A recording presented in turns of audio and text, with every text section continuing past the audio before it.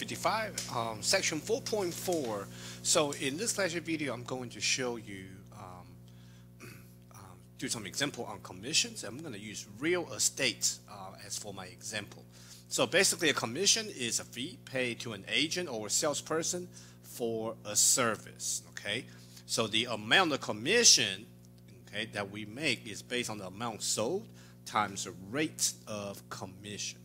So if you are selling your house with a local realtor who requires 4% commission fee, what can you expect to pay the re um, realtor if the house is selling for $158,000? So the amount of commission is going to be um, percent of commission times the whole thing is sold.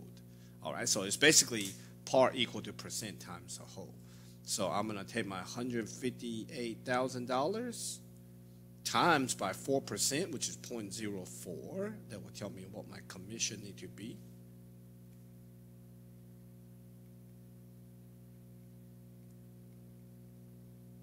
All right, so my commission, uh, did I? Is $6,320. All right, that's all it is to it. Now, this problem is a little bit strange, okay? So this problem says Katie is about to list her house as for sale by owner. Suppose she need to allow for a 6% commission for the buyer's realtor, okay? For the buyer's realtor.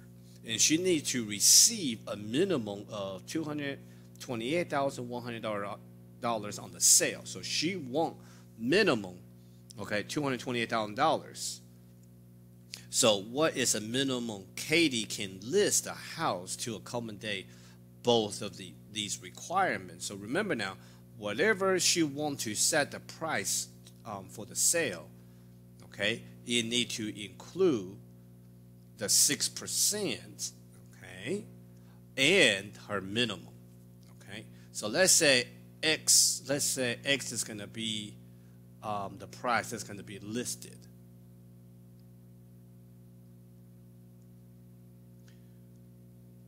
So whatever this price she's going to list, okay, we need to go ahead and take off 6% of what she lists because she need to what? She need to pay the buyer's realtor. So we're going to subtract 6%, 0.06 of what she's going to list. Okay? Then that will equal to the money she want to receive, which is $228,000. So basically, if you take 1x minus 0.06x, you actually end up with 0.94x. Okay, what this 0.94x means is, now 0.94 is 94%. So basically, she's going to receive, okay, what she really wanted is end up with 94% of what she lists. Okay, she's she want to end up with 94% of what she what she listed. So she can end up with the money she want, which is two hundred twenty-eight thousand one hundred. So this problem, all we have to do now is divide both sides by 0.94. And that will tell me what was original um, price that need to be listed. 228, or what she need to list in order to give away that 6% basically divided by 0.94. She, so she need to list that, need the price as this much. Round to the nearest $100, so that's 6 will become 7. So the 242, 700. Okay, so that will be my answer. $242,700. So inside this amount, she need to take away 6% of it to the to the buyer's um, realtor's commission. Okay. All right, let's take a look at a couple example of percent increase and the percent decrease type of problem. Okay, percent increase, percent decrease is a very common problem. Um, a lot of times when we go to grocery store and we notice the price of the things that we normally buy go up, maybe like you know couple cents or you know I'm saying just a few cents we not not that big of a deal but for the sellers okay for the company that produce those items, when they go up a couple cents, they don't look at them as couple cents. They um, they raise up. They look at the percentage. They look at it in terms of percentage of the increase. Okay.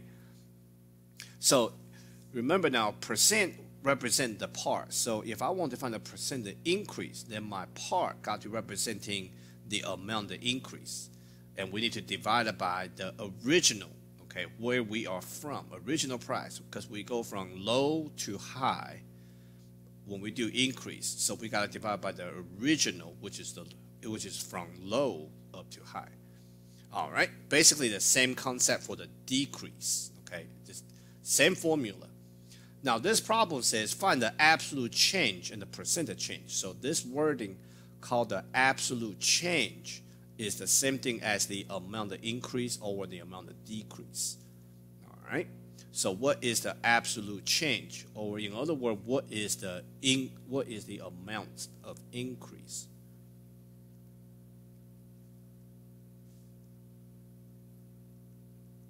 So this problem is $244 is increased to $976, for example. So that would be, so absolute change is the same as amount of increase.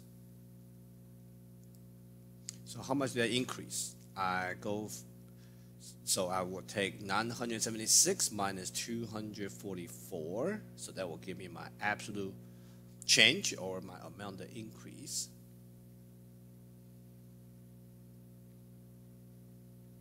So I increased $732. All right. Now let's find the, uh, the second part, second answer, the percent change or the percent increase. So my percent increase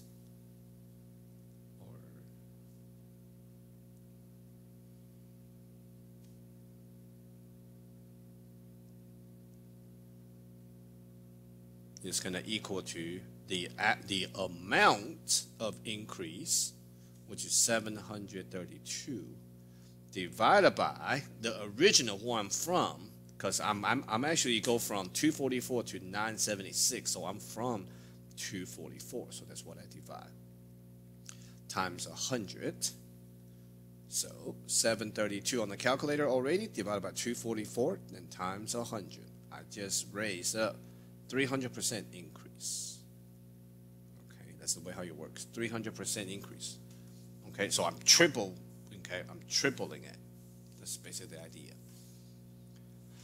All right, same thing, just a more worded problem here. The stock price for KDV was $83.11 in July. In August, the stock increased by 8%. So this so my increase went up 8%. But in September, the price fell by 8%. So a lot of students think, okay, so I increase A, then I drop A, so there's no difference. So I must be go back to 8311. But that's actually not the case, okay? Because who I'm dividing down here is different. Because I need, so if it's an increase, I divide it by my who I'm from, which is the lower number. If I'm decreasing, that means I'm actually need to divide by a higher number. So the number I'm dividing in the denominator is different. Therefore, my therefore the answer is different. Okay, you cannot say increase A and drop down A again and go back to original price. It actually doesn't. Let me show you. Okay. So if it increased by 8%, okay, so $83.11 times by 8%,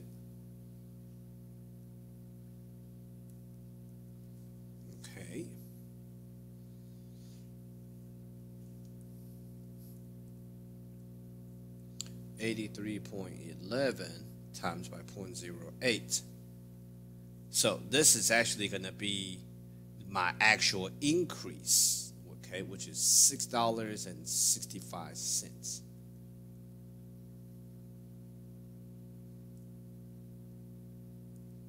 So this is how much I'm increased. So my August, okay, the end of August that means that will be $83.11 plus 665 So at the end of August,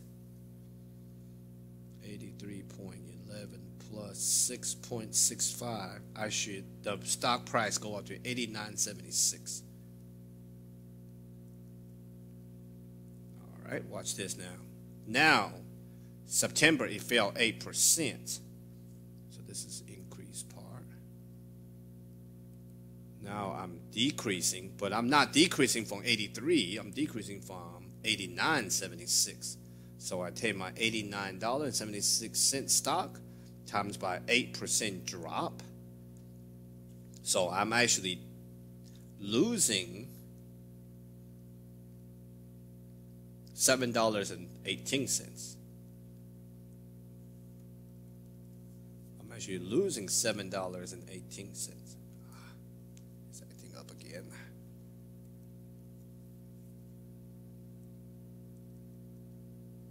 So, the end of September, that will be 89.76 minus what I just lost. So I increased 665, but I actually dropped $7.18.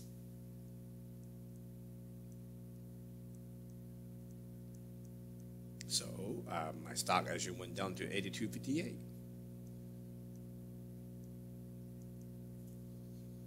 Okay, my stock actually went down. Okay, that's how we do these type of problems. All right, big difference. Okay, what we are subtract, you know, what we are multiplying um, by the by the increase and the decrease is different. Okay, I'm actually multiplying from different amounts. Therefore, my increase and decrease are different. So I actually do not go back to 8311. I'm actually losing money right here. Okay, so in this lecture video, we quickly talk about commissions using real estate, and we talk about percent increase and decrease. Okay, that will conclude this lecture video, and uh, we will conclude uh, chapter um, or chapter four, all the sec- all the videos for test two materials. All right. That all right. Thank you for watching.